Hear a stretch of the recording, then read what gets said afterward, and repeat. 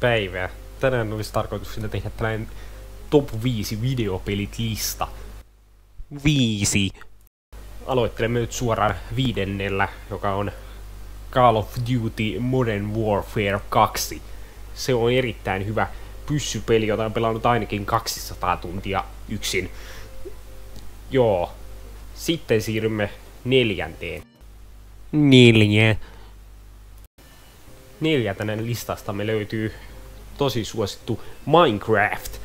Se on erittäin hauska seikkailupeli, jota olen pelannut ainakin 10 tuntia PlayStation 3 konsolilla vuonna 2012.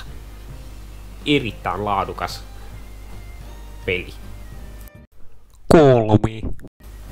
Kolmantena listasta löytyy Overwatch.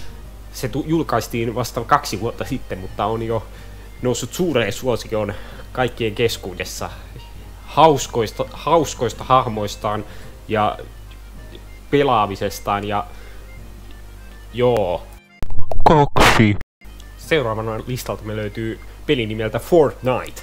Se on vasta aika uusi, taisi tulla viime vuonna, mutta se on jo yksi suosikeistani. Siellä se on erittäin hauska peli.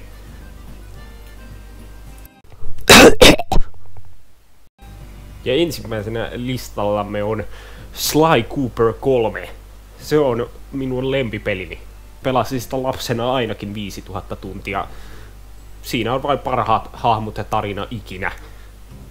Kakkonen ja ykkönen eivät ole läheskään yhtä hyviä kuin kolmonen, koska kolmonen on niistä kolmesta uusin. Eli se tarkoittaa, että se on paras.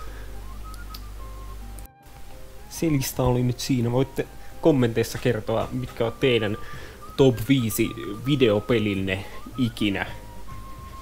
Joo, kiitos kun katsoit. Muistakaa tilata ja tykätä ja tisliketä ja tappaa ittenne ja hyvästi